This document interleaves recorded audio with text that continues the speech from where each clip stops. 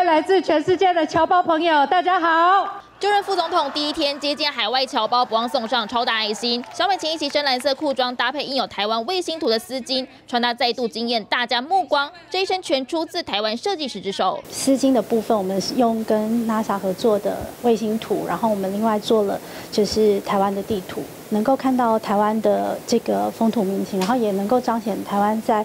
国际上面的一个地位跟责任。小美婷常以裤装出现在公众面前，新任设计师简君远多次荣获意大利服装艺术奖。这接下小美琴就职活动造型重任，用两个多礼拜量身打造四套衣服。蜂巢图腾加上改良式旗袍设计，一材质拼接更凸显腰身，中西融合，外交迎宾晚宴穿在小美琴身上的这套洋装同样很吸睛。我们用蜂巢的概念在它的前身，那主要的原因其实蜂巢其实它是有团结的这个意思，腰身的侧两边去做了黑色的。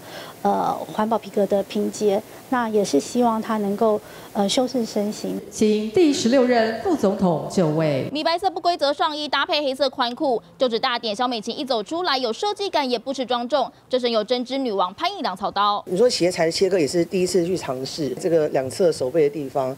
对，那呃，我们有考虑到，就是说，因为呃，你会接见很多的外宾，那你可能也会拿着酒杯，所以我们希望在做的时候，让它能够活动的很自如。国宴晚会，上面请换上粉色洋装，跟就职典礼上风格截然不同。袖口侧边切割剪裁是设计小巧思。其实我压力蛮大的，虽然认识很久，就我们跳脱以往，因为我觉得肖副总他其实给我们很大的一个空间，就是让我们去做创作。潘一良说，从肖美琴确定当选后，马上联系他，总共设计了三套衣服，目前还有一套深蓝色洋装还。没有曝光，小美琴独爱台湾设计师，从就职大典到国宴各大重要场合就爱 MIT。集中红一套，同样也做不到。立刻下载静新闻 App，一手掌握新闻时事，尽善尽美，尽好新闻。